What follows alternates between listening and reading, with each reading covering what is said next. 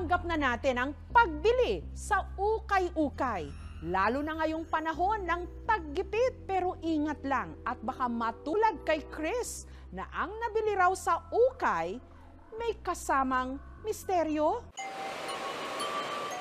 Katulad nitong mga nakaraang araw, nag-uuulan din daw noon nung pumunta si Christian sa isang ukay-ukay sa bayan nila sa Daet, Camarines Norte.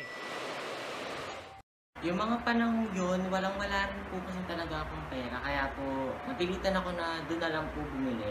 Tsaka yun nga po kasi mga mura naman po kasi yung mga mabibili doon. Kahit magkano lang pera mo, makakabili ka na ng magaganda eh. Kasi sabi nila mas original nga po yung mga nabibili lang po sa mga ukay, ganyan. Kasi ano po siya, galing po kasi siya sa ibang bansa. Kaya yung tingin ko po yung ano ko, yung bulsa ko ng mga panahon yun, um, 30 pesos lang po yata yung pera ko yun or 50 parang ganun. Then, kaya pumunta po ako doon. Kaya nagtingin-tingin din po ako. Kasi ang dami po kasi talagang bumibili doon. Kasi magaganda daw po kasi yung mga klase ng mga nabibili doon. Kaya nagtingin na rin po ako. Tapos, pagtingin ko po doon, meron po akong nakitang jacket. Opo. Um, unang tingin ko po sa kanya, ang ganda-ganda niya po kasi, parang ganun. Parang siya po yung pumukaw ng pansin sa akin sa lahat ng mga nakikita ko dun sa kanilang shop, sa tindahan po nila. Kaya, hindi na po ako nagdalawang isip. Kasi ang mura lang po, ano, 35 pesos yata yun. Kaya, binili ko na lang rin po siya agad. Kasi sayang naman po, ang ganda-ganda nga po eh. Para po siyang, ano, gray na may red, ganun. Eh, favorite color ko pa naman po yung ganung kulay. Kaya kinuha ko na po siya agad kasi baka maunahan pa ako ng iba. Kasi ang dami po talagang nagtitingin na dun sa kanya. Then, eh, binitawan po ng isa. Kaya kinuha ko na po kasi sayang naman po talaga siya. Kasi ang dami po talagang bumibili doon. Kaya paunahan na lang po talaga.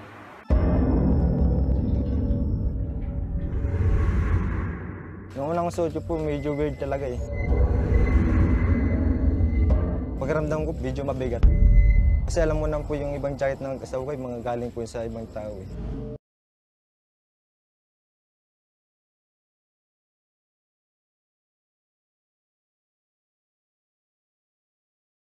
Kinagabihan, ang jacket na nabili ni Christian sa ukay-ukay, umano, nagsimula ng magparamdam? Pagkaramdam ko, ano, nakayakap sa akin yung jacket. Parang gustong gusto na sa akin. Kahit po di ko suot yung jacket ko, parang suot ko pa rin. Kahit nakasando lang po minsan, ang init pa rin.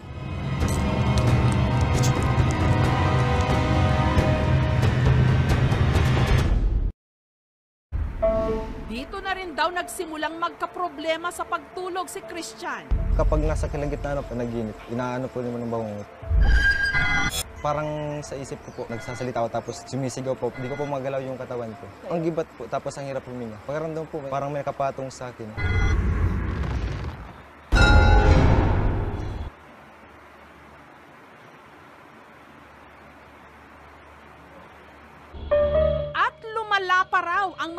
Mga pangyayari nung sumunod na gabi. Ikaw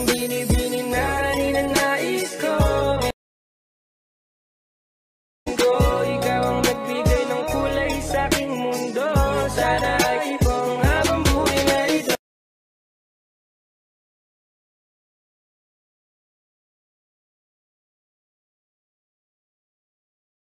ano po, sa sobrang lamok po, inubad ko po yung jacket, tinikap ko po sa mukha ko, tapos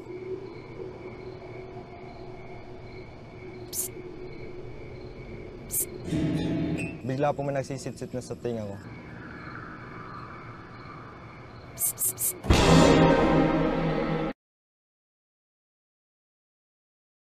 Um, simula po yun, hindi ko na po sinuot yung jacket. Kasi po, natakot na rin po kasi lagi po akong binabangungot sa tuwing nandun po yan sa bahay. Kaya naisipan ko po yun na itapon na lang po. Kasi syempre, feeling ko yun po kasi yung dahilan kung bakit ako nagkakaganon. At nakakatakot na rin po minsan kasi minsan kung saan saan na po siya napupunta, hindi naman po siya ginagalaw. Gusto po siyang pumunta kung saan saan. Sino ba naman po hindi matatakot sa ganun, di ba? Kaya naisipan ko po yun na itapon na lang po siya. para na lang po na hindi na po siya ano, mag mapaminsala sa amin para makatulog na rin po ako ng maayos. Kasi hirap na hirap po talaga akong matulog simula nung nandito yan sa akin. Kasi ang dami kong nagaganap, may sumisipsip na ewan, may biglang kakalabit sa'yo, biglang may hawak sa'yo, di ba? Nakakatakot po yung ganun. Kaya tinapon ko po siya. Pero nagulat po kasi pinulot po siya ng pinsan ko. Siguro na naano rin po siya ng hinayang kasi syempre ang ganda-ganda rin po kasi yun. Kaya kinuha rin po ng pinsan ko. At yun, ginamit niya rin po. Pero yung ginamit niya rin po yun, meron din pong naganap sa kanya na hindi maganda. Kaya hindi rin po sa kanya nagtagal yun. And hindi niya na po siya ginamit. Tinago niya na lang daw po. Kasi ayun nga po, ganun din po katulad na nangyari sa akin. Ganun din po yung nangyayari sa kanya. Kaya natakot na rin din po siya, kaya hindi niya na rin po ginamit. Kaya ang in-advise ko na lang rin po sa kanya na sa masunugin na lang po para hindi na rin po mapunta sa iba kung tinapon lang po namin. Kaya ayun, nag-decide po kami na sunugin na lang po para hindi na po siya mapunta sa iba at para wala na rin pong mapaminsahe. Para tumahimik na rin po kung sino man po yung may-ari nun kasi mukhang hindi po siya natutuwa sa nangyayari. Sa, dahil siguro hindi pa po siya handa, ganun. Kaya yun po siya sa gamit niya nag, ano, nag-i-stay. Balik harap o doble kara. Parang literal na nangyari sa isang batang nakunan ng litrato. Sir, tara, picture tayo. Sige. Ang masayang picture taking ng magkapatid na Amiel at Zed na uwi sa katatakutan.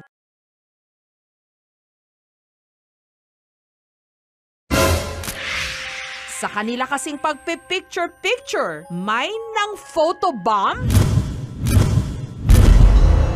Sa litrato, nakasimangot ang bata pero mapapansin na ang kanyang reflection sa salamin, imbes na nakatalikod, nakaharap.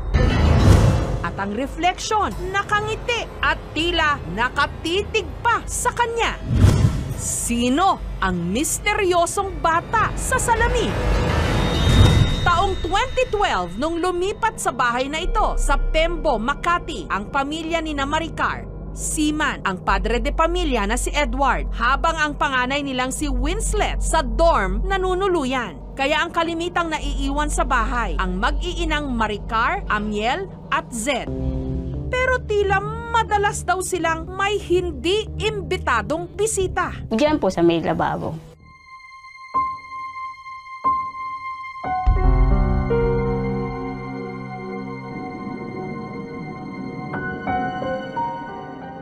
Pagkapal ba, nagugas po akong pinggan para po may nakatingin sa akin. Grabe po talaga, nakakatakot. Alam mo yung feeling na biglang may nakahawak sa yung gaganon-ganon ka. Ganyan. Siyempre nakakatakot, di ba? Naglalaro ka lang naman ng cellphone. Minsan kung ka, biglang may magsisipsip sa'yo. Mapaganyan ka. Ganyan. Siyempre nakatakot ka, di ba? Maging ang kanilang apat na taong gulang pa lang na bunso na si Zed. Bigla-bigla na lang daw may kinakawayan. Minsan magsasabi po yan na, Hi, sabi ko, Sid, sino yung kausap mo dyan? Wala kami, ayun, may, may bata katayo. Sabi ko, wala naman eh. Tapos pinadescribe ko po sa kanya kung ano yung nakikita niya. Sabi niya, nakakatakot daw, multo daw, parang gano'n. Tapos, parang, alam mo yung feeling niya parang takot na takot siya habang sinasabi niya sa akin. Siyempre, natakot na rin po ako kasi baka nga totoo, di ba? Alam mo po yung mga bata, hindi naman po nagsisinungaling yan. Kaya siguro, totoo, pero hindi lang namin nakikita. Basta!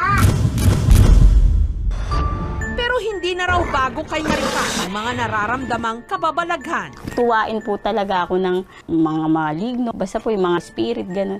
Nilagnat na po ako ng taas noon. Tapos tinawas po ako ng mama ko. Nakita po niya nga yun. Sa tawas, may napaglaruan po ako doon. Hanggang taong 2013, isang matandang babae ang naglako ng buy one take one na salamin sa kanilang lugar dahil na rin daw sa awa at sa murang alok nito na pabili si Maricar. Mambili nyo na, maawa na kayo kasi wala akong pampamasay papuntang Bulacan. May sakit po rin yung anak ko. Eh magkano nga po? Tapos sabi niya, 300. Sino po kasama nyo na lumuwas dito? Wala po, ano, ako lang po kasi nga po nag-ano po talaga ako na mabenta to kasi ano nga po may sakit po yung apo ko. So, ayun po, binili ko na lang po yung salamin kasi naawa po ako sa matanda. Kasi sabi niya po ilang oras na daw po siyang naglalako. Ngunit wala naman pong bumibili. Tinawaran ko nga po kasi ang mahal. 1.5 nga daw po pero nakuha ko lang po ng 200. O diba, laki po ng nasip ko. Kaya thankful po ako kahit papano kasi mura lang ang nakuha ko. Pero grabe, after po nun, ang dami na pong kaganapan, ang dami na pong nangyari. Nakakatakot po kasi parang yung salamin na to, antique po siguro siya or something na yung may-ari is patay na. Gano'n, nakakatakot. At nilagay ko nga po siya dun sa kwarto namin. Tsaka sa sala, ayan, kasi dalawa po siya. And ayun, simula po yun, ang dami na po nangyayaring kaganapan at natatakot na po kami lahat. May biglang nangangalabit, may kinakawayan po yung anak ko. Nakakatakot po. Ang kambal na salamin isinabit ni Maricar sa kanilang sala at kwarto.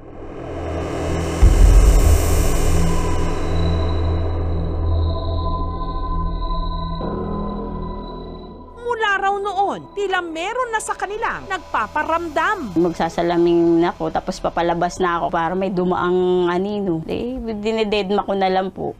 Mayat maya na rin daw may nahuhulog na gamit sa kanilang kwarto. Ano, magbabagsakan yung mga gamit dyan. Wala naman tao. Ano pong mga bumabagsak? Yung pong mga lotion, At ang kanilang bunso na si Zed, tila may iba raw na nakikita. Umiiyak po siya, narinig ko. Tapos po, may nakikita daw siya. Tapos sabi ko, Sir Jed, huwag ka na umiyak. Tapos natatakot na po din ako, umiiyak na po din ako. Ba't ano yung sinasabi niyo nakita niya nun? Na, nandito daw po sa may, ano, harapan. Sa takot, hindi na raw sila natutulog sa kwarto. Inilabas na rin nilang kanilang kama sa sala. Ang kanilang takot, meron nga bang basihan?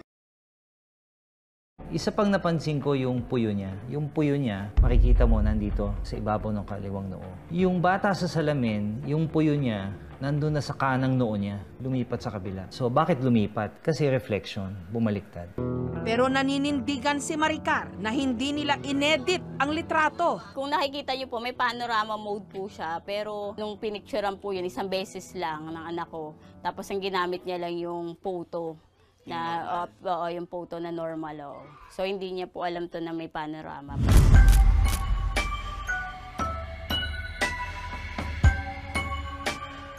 May taong sa camera kumikinang. Napunta sa limelight ang presong ito ng Mandaue City sa Cebu. Matapos siyang makuhanan ng litrato na para siyang kumikinang. Kahit pa ayon sa mga nakasaksi, normal naman daw ang itsura nito sa personal. Pero sa litrato, para siyang nababalutan ng batik-batik na yelo. Shining, shimmering, splendid. Yung pinicturean ko siya, buong katawan, nakita ko, umiilaw siya. Oo. Para siyang may yelo sa katawan. Tapos, tinesting namin na ipagdikit siya sa ibang preso. Pero ganun pa rin. Lumilitaw yung puti-puti na hindi namin mapaliwanag. Siguro nga, hinala talaga namin eh. Meron siyang anting-anting.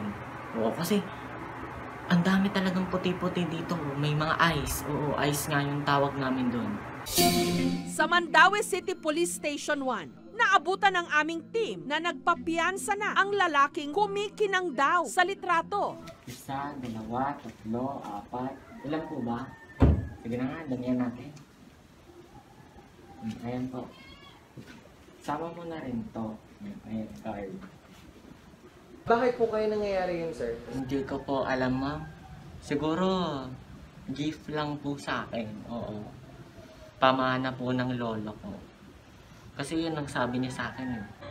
kwento ng lalaki mismo, kinukunan siya ng pang mugshot noong May 17 nung nangyari ang hindi inaasahan. Siyempre, nagulat, saka nagtaka bakit ganun siya. Buong katawan niya parang may ice. Yung mukha niya parang may sumasapi sa loob. Parang kakaiba. Ayun, medyo nakakatakot po kasi bakit may eyes siya? 'Di ba? Hindi naman po kasi ganun yung tao, 'di ba? Siguro meron siyang anting-anting. Nakalaya na nitong Merkules si Balong, hindi niya tunay na pangalan. Ikinumpisal din niya, meron daw siyang third eye. Nakakatakot din po. Kasi minsan makakasalubong mo na lang yung mukhang aswang. Akala mo tao lang pero hindi pala. Di ba? Yung bigla kang magsisiya, tapos biglang bubungad sa'yo. Harap-harapan yan. Di ba? Magugulat ka. Mm-mm. Kaya minsan tinatago ko na lang sa sarili ko. Kunwari hindi ko nakikita. Tsaka hindi ko sinasabi sa iba, mga pamilya ko lang yung nakakaalam. Para hindi na rin matakot yung iba sa akin. Kasi yung iba na natatakot eh. Oo, pag sinabi ko, ay may multo, oh, nagtatakbuhan sila, di ba? Kaya, hindi ko na lang sinasabi kahit nakikita ko. Eksplanasyon niya ang nagpapaliwanag daw sa kanyang katawan, di umano ang current o kuryente na nanggagaling sa mga hindi raw matahimik na espiritu o kaluluwa sa selda. May nagbigti doon eh. Yun talaga malakas yung current. Di ba nakita mo yung nakahiga ako sir? Natutulog ako din eh. Hindi ko namalayan niya, nagpipik sila lahat. Tapos sabi nung resident officer na, ba't ganun? Grabe yung ano, from the tip of your feet until the head, yung ginaw ba nandyan. Kaya nga hindi ako nagsasalita noon eh. It was the very first time din na grabe yung current ba.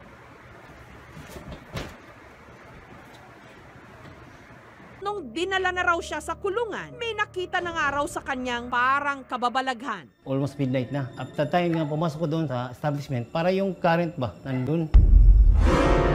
Kasi may nakita kong bata, may nakita kong tatlong lalaki, nakahiga namin kami lahat. Doon, isa-isa na kami pinicturan. Sabi niya, anong problema sa cellphone ko? Ba't ikaw nagaganito? Sir, please, stop na lang muna. Kasi iba kasi yung feeling ba. Ito was the first time talaga na nangyari yun. Para bang may mag-cover ba. Totoo nga bang may mga nagpaparamdam sa kulungan? Kaya si Balong, kuminang. Sa Mandawi City sa Cebu, pinag-usapan ang litrato ng isang preso. Kung saan para siyang kumikinang. Gayong normal naman daw ang itsura nito sa personal. Yung pinicturan ko siya, buong katawan, nakita ko, umiilaw siya. Oo. Para siyang may yelo sa katawan. Tapos, tinesting namin na ipagdikit siya sa ibang preso. Pero ganun pa rin. Lumilitaw yung puti-puti na hindi namin mapaliwanag. Siguro nga, hinala talaga namin eh. Meron siyang anting-anting. Oo, kasi ang dami talagang puti-puti dito. May mga ice. Oo, ice nga yung tawag namin doon. Ang itinuturong dahilan ni Balong kung bakit siya makintab sa mga litrato. Ang kuryente daw o current ng mga espiritong lumalapit sa kanya sa kulungan. Ayon kay Seth, ang nakuna na umiilaw sa katawan ni Balong, maaring bioelectricity. Lahat naman tayo, meron tayong bioelectricity. Your nervous system runs on electrical impulses. Kaso, sa kanya medyo malakas, especially when it's triggered by anxiety and strong emotions. Normally, kung malakas talaga yung flash, makikita natin siya. Pero kung normal eye lang, hindi talaga natin siya makikita. Ilang beses binaril, pero buhay pa rin. Nitong Martes, ang tahimik na barangay ng Balikutok sa Ilog Negros Occidental, binulabog ng sigawan. Sa ilalim ng puting ilaw, sa dilaw na buwan, pakinggan mo ang aking sigaw. Sa dilaw na buwan, ako'y sa'yo, ikaw ay akin. Ganda mo sa paningin, Isang lalaki kasi ang biglang umanta. Hoy, pangit ng kanta mo. Anong pangit, ha? Ha? Pinagtataga ang lahat ng kanyang madaanan.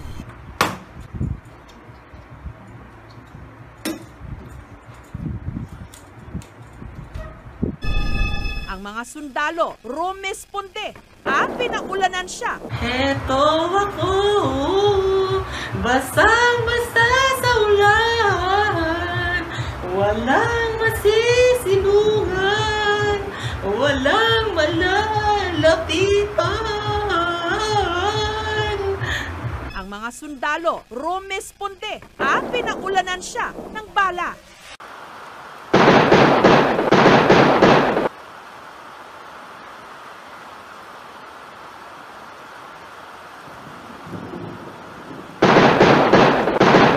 Ilang beses po namin siyang pinaputukan, pero hindi po siya tinatablan. Nakakapagtaka nga po kasi naubos na po yung bala ng gamit namin, pero ni hindi po siya natamaan yung isa. At hindi po siya tinablan. Napakarami, dalawa nga po kami yun, pero wala pong tumalab sa kanya. Kasi kung ordinaryong tao lang po yun, siguro namatay na po yun. Siguro meron po siyang anting-anting. Pansin nga po namin yung tela sa gilid ng ano niya, ng shirt niya. Siguro po doon ang gagaling yung enerhiya kung bakit hindi po siya tinatabla ng kahit anumang bala. Sobrang galing nga po eh. Kasi ang dami na po talaga namin pinaputok sa kanya pero wala po talagang tumalab yung isa.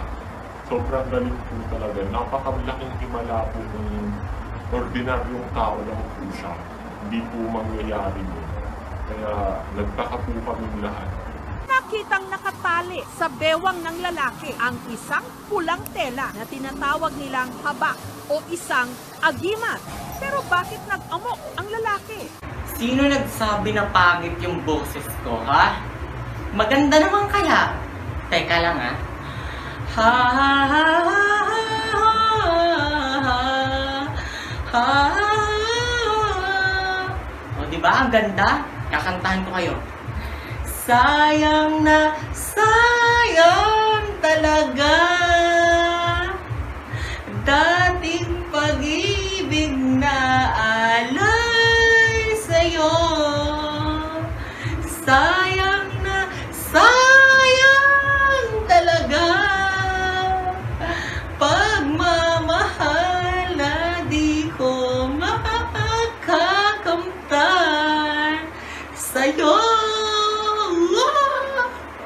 ba? Ang ganda-ganda ng boses ko eh.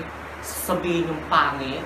Noong gabi, bago ang insidente, ang pulang tela na napulot lang daw niya sa kanilang bahay, dinasalan nito ng Latin. damo di mga istorya nga may mga ritual bala nga kung hindi ya madala daw gadula sa sa ah, kwan araw bago ang insidente, kakaiba na raw ang mga ikinikilos ni Pepe. sa pagpangusisa ko sa iya mga pamilya da tatlo na kaadlaw nga wala sa gakaon-kaon basi kon gin sakaan man hangin ang iya pam, ah, paminsaron ka gin dakop sa sang nervyos Sa investigasyon ng mga pulis, nagulat sila nung nadiskobring ang dibdib ng suspect. May mga bilog na marka. Ang paniniwala sa agimat nakabaon na sa ating kultura. Pero ayon sa paniniwala, proteksyon ito sa kapahamakan at hindi instrumento sa kasamaan at karahasan. July 28, Blood Moon. Nung di mano, may nangyaring kakatwa sa barangay Kauswagan sa Cagayan de Oro. Alas 9 ng gabi nung may narinig si Joel sa kanyang manukan. Meron kami narinig ng mga uni ng mga ibon na malalaki. Uwak ang tawag sa amin tunay. Yung crew. Ganun na yung huni. Pero malalaki. Yung hinalanan, aswang. Pagsilip niya raw sa labas, wala naman siyang nakita. Pero bandang alauna ng madaling araw, nagising siya sa walang tigil na mga tahol. Maingay yung aso kasi. Pagdating ng 3, bigla tumahimik paligid dito lahat. Wala na kaming narinig na ibang mga uni. Kinaumagahan, laking gulat na lang daw niya sa tumambad sa kanya. Dalawamput isa sa mga alaga niyang manok patay. 21 ka lahat, yung manok, matay. Bakit? ano nangyari? Bakit ganito? Pero kahit isang patak ng dugo, wala raw bakas.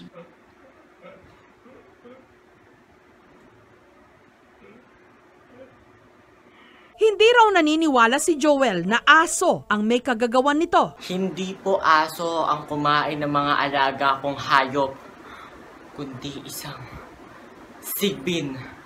Isa po siyang sigbin. Ang sigbin, kinatatakutang bahagi ng ating alamat.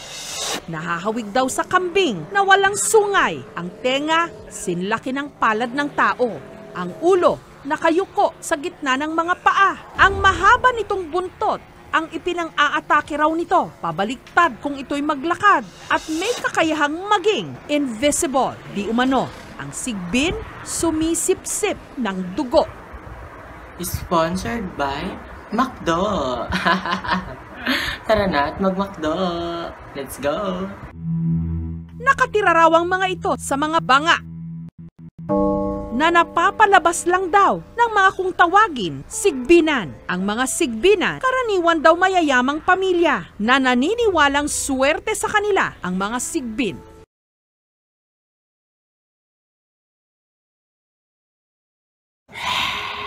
Malakas ang kutob ni Joel. Sigbin ang umatake sa kanyang mga alaga. Meron daw kasi talagang sigbin sa kanilang barangay. Ikaw, Sigbin, naman ang gigigil ako sa'yo, ha? Buti na lang tinerhan mo ko. Ang 21 karat gold na Golden Tara na nakita taong 1917 sa Agusan del Sur, matatanda ang aksidente lang natagpuan. Parang ganito rin daw halos ang nangyari sa Zamboanga City nung nakita ni Ernesto ang figura sa tambakan sa kanyang bakuran. Itinago niya ito sa loob ng dalawang taon pero lakas loob na ipinapakita ngayon sa pag-asang malaman na kung tunay ba itong ginto. May bigat na 5.5 pounds at taas na 4 inches. May dalawang taong nakaukit dito. Ang isa tila nagtatambol, ang isa naman nakasuot ng kakaibang damit. Isang gabi, bago raw nahukay ni Ernesto ang mga ito, na naginip siya ng ginto.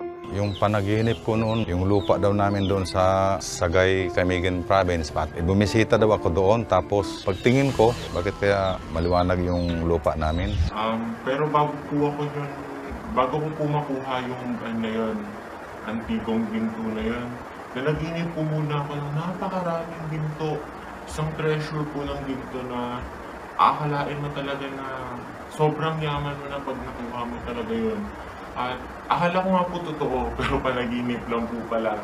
Tuwang-tuwa nga po ako din kasi kailangan na kailangan din naman po kasi namin. Kailangan namin ng, ng pera kasi alam mo naman po sa, sa panahon ngayon na mahal na po mga bilihin. Kaya alam ko, um, sobrang tuwa ko po yun.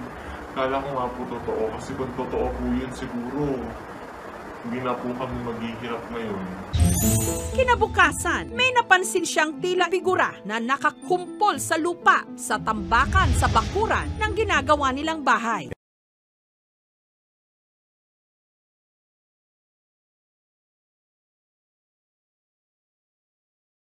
Yung una po, hindi ko po masyado ma-identify kung ano nga po pala siya agad. Kasi nababalutan po siya ng dumi dito. Tapos nilinisan ko po siya, tapos doon nagulat ako. Akala ko nga po nung una, si Jesus Christ.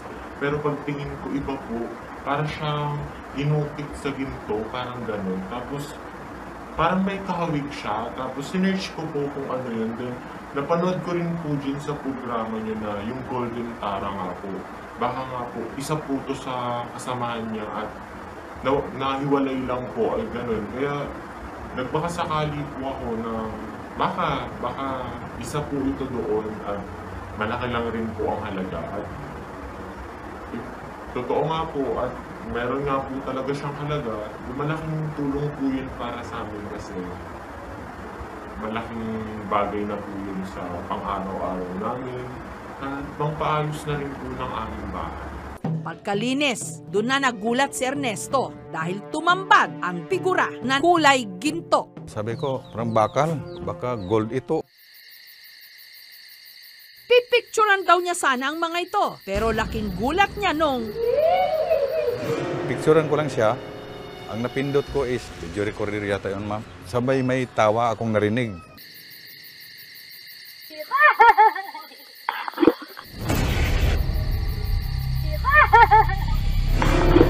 Sa sobrang takot ko kasi may narinig din po ako. Bigla ko pong na-off yung cellphone ko kasi sino man po bang hindi magugulat yun kung natatakot, di ba? Bigla-bigla may tatawa. Tapos ayun, tingin ko yung video kung meron nga talaga. Tapos pinakinggan ko, meron. Parang bata na tumatawa. Di wala naman pong bata dun sa amin. Kami lang naman po yung nandoon.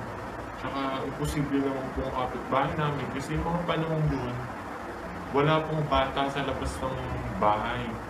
Lahat po nasa loob ng bahay nila. Tsaka yung rinig na rinig po yung tawa eh. Kaya imposible pong galing po yung sa labas ng bahay. Kaya hinala ko po siguro yung mismong ano, antigong ginto yung po mismo yung tumatawa or may tunog na ewan. At nakakatakot po, nakakabigla. Muntik ko nga pong magbitawa yung cellphone ko. Sobrang gulat. Kasi syempre, bigla-biglang may tatawa sa gilid mo. Ganun. So, bigla po kami ano, nagdalawang isip kung ano man po bang meron dyan. Marami ang nasisilaw pero tandaan, hindi lahat ng kumikinang ginto. Sa nauusong app ngayon sa cellphone, pwede kang maging forever young. Pero ibahin nyo ang babaeng ito para talaga siyang hindi tumatanda. May hubog na ang katawan, pero baby face pa rin? Ito ang mga litratong nanganganak ngayon ng sari-saring mga komento at kwento sa social media. May ilang nagduda, edited lang daw ang mga ito. Gayunman, hindi pa rin ito napigilan ang pagkalat ng sari-saring espekulasyon tungkol sa babae sa litrato. You look like a nine-year-old girl with Kim Kardashian's body. 23 na talaga yan. Mukha lang bata kasi nagpapa-stem cell. Naka-Snapchat filter yan, kaso di natanggal. Taga-Indonesia talaga yan. Ang babae, natagpuan namin hindi sa Indonesia, kundi sa Lanang, Davao City. Siya si Alexandra. Ngayon pa lang, nililinaw na niya, hindi edited ang kanyang pictures. Wala rin daw katotohanan ang mga chismis na nagpa-stem cell treatment siya. Sadya lang daw talagang mukha siyang bata. Um, nasasaktan po ako kasi yung picture ko ginawa nilang katatawanan. Ginawa nila akong sobrang bata. Sabi ng iba, 9 years old, 7, 3 months old. Sabi pa nga sa iba ng mga comment doon, um, gawin na lang daw akong fetus. So, nakakasakit din. Tao lang rin naman po ako nasasaktan. So, hindi ko po alam kung paano ko babasahin yung mga comments nila. Tapos sinasabi nila na nagpa-retoke daw po or nag-therapy. Eh, hindi ko naman po ginawa yun. Natural lang po naman na ganito. Kaya sa mga nagko-comment dyan, ito, totoo to, hindi po to edited. Baka yung mukha mo, ayan, nasanayan mo lang siguro na may filter. Hindi ka original. So, kawawa ka naman. Lagi na lang kasing filter. Mm-mm. Yung profile picture mo, pero edit. Ayan, pero edit yung picture niya. Mm-mm. So, kawawa. Mm-mm.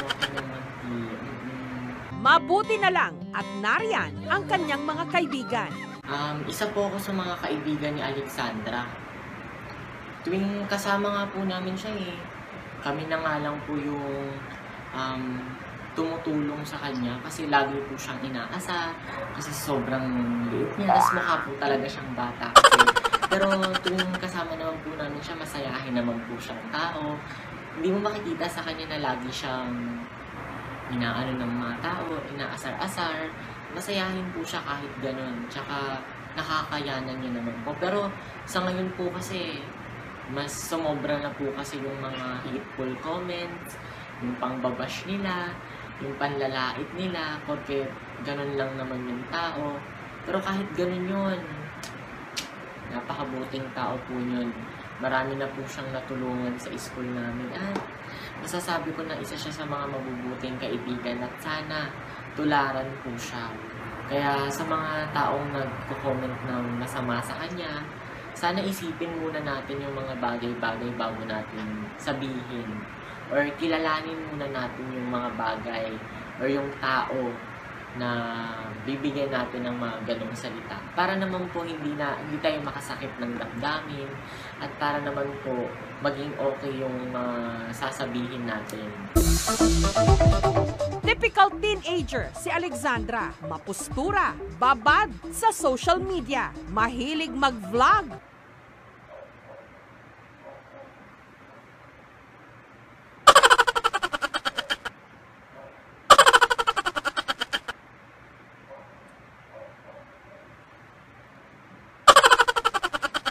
Tapos ayun po, may mga nag-share. Tapos sabi nila, i-public ko daw po yung account ko. Tapos ayun po, nagulat po ako. Ang daming mga nag-ano sa account ko. So, nakaka, ano lang po, nakakabigla.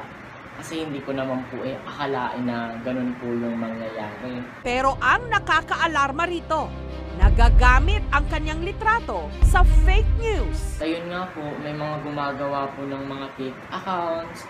Tapos, nagpo-post sila ng mga videos ko na kinuha lang naman nila, na wala naman silang credit. Hindi naman na sinabi na gagamitin nila for some reason. Ninanakaw po nila yung mga bagay-bagay na hindi sa kanila. Tulad ng ginawa niyang sa akin. Kaya kung sino man kayo, ayan, sana po tigilan nyo na po yung mga ganyan. Kasi wala pong magandang idudulot yan. Tsaka, mali po yan. Mm-mm, mali po yan. So, wag na wag po natin tutularan yung mga katulad nun. At itigil na po natin kung po pwede. Pangalawa si Alexandra sa limang magkakapatid pero madalas na mapagkamalang pangalawa sa bunso. If you get picture of someone, tapos pinost mo online at pinalitan mo yung features ng malaswa, that's a data interference. If you violate the cybercrime law, merong penalties yan. Depende dun sa kung anong action na ginawa mo. Here, sa specific case ni Alex, pwede siya mag-file ng case. Well, nobody's perfect naman. Lahat tayo is hindi talaga perfect. We all have our unique beauty. Iba-iba tayo. Dapat di talaga tayo kinocompare sa iba na, ah, mas maganda siya kaysa sa akin. To all cute na height out there, well, cute jud ta. Para sa reaksyon sa istoryang ito, tweet na gamit ang hashtag KMJS. Go!